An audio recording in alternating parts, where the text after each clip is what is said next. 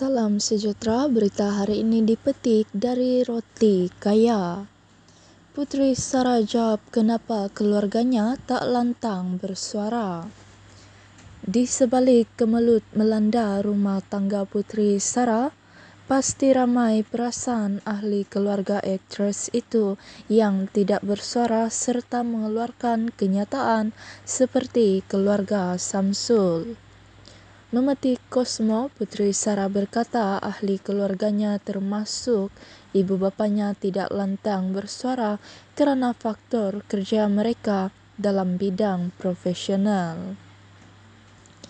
Katanya lagi dia tetap mendapat sokongan daripada ahli keluarganya meskipun tidak berbunyi seperti yang dilakukan pihak mentua. Selama ini orang tertanya-tanya di mana keluarga saya. Sebenarnya mereka ada tetapi disebabkan kerjaya mereka tidak boleh ke depan katanya. Dalam pada itu ketika hadir ke mahkamah tempoh hari untuk memfailkan cerai, Putri Sarah turut memperkenalkan dua adiknya yaitu Puteri Sofia dan Megat Imran yang turut menemaninya.